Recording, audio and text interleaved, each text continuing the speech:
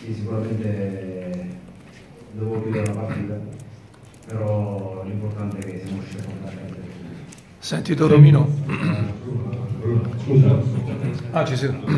eh, è stato un problema generale di tutta la squadra, però anche perché nel primo tempo è di maggiore difficoltà, non riuscivi ad affrontare. Nel secondo tempo, non so fosse stato il gol di Capurano che ha sbloccato tutti e anche lui è stato molto meglio. Cos'è cambiato? Sicuramente l'inizio non è stato facile, sicuramente per il caldo che c'era, perché era veramente un caldo pesante. Poi è normale che il Monopoli è una squadra sicuramente attrezzata per, per mettere in difficoltà la classica squadra come noi, nel senso che eh, conosco molto bene il mister, quindi so che prepara molto bene le partite e avrà sicuramente preparato la grande partita per tutti noi. E sapevamo di trovare delle difficoltà, poi il gol eh, ha sbloccato la partita e siamo diciamo, fuori. Quando c'è stato il calcio di rigore, ti ho visto andare a prendere subito la palla con una certa grinta. Era predisposto che dovessi tirare tu o hai chiesto tu di tirare? No, non c'è, diciamo che... eh, Hai strappato il pallone. Sì. A proposito del leader, no? il discorso che facevamo la scorsa settimana, anche queste cose no? sono importanti in tal senso. No? È una responsabilità che, che volevo prendermi e la farò.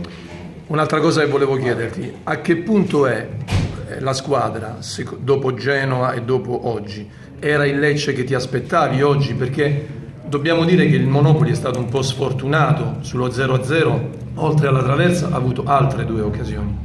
Ma secondo me sapevamo di trovare queste difficoltà perché era la prima partita, quindi eh, non è stato facile per noi.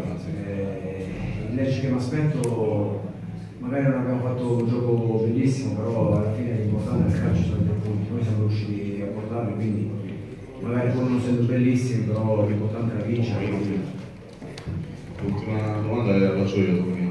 Nel primo tempo per il vostro tridente, tu Bacini, Eh, spiego il mio punto di vista. Eh, non si può considerare una fase se non c'è la partecipazione collettiva della squadra.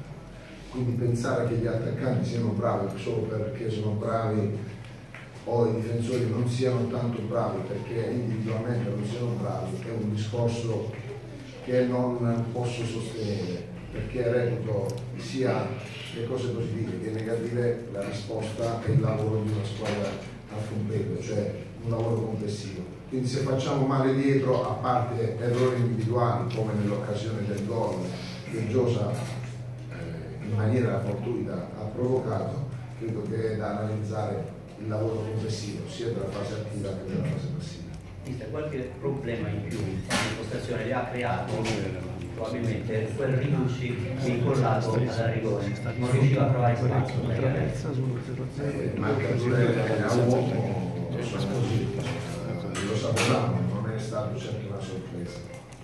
Credo che il Monopoli abbia avuto questo tipo di atteggiamento anche contro le altre compagini, almeno per quel poco che abbiamo potuto vedere, però l'abilità di una squadra sta anche nel trovare una soluzione alternativa. In parte ci hanno impedito di trovare delle soluzioni, ma credo che poi alla fine qualcosa di buono abbiamo fatto vedere, non è tutto negativo. Sotto questo punto di vista Mancoso ha svolto bene il ruolo di, di vincere, di vincere i gol. Beh sì, avendo le marcature uomo è chiaro che bisogna che ci sia un, uno scambio di posizioni, la marcatura uomo chiaramente eh, prevede che ci sia qualcuno che faccia dei movimenti per far giocare qualcun altro evidentemente più libero. L'abbiamo fatto non con molta continuità, ma l'abbiamo fatto.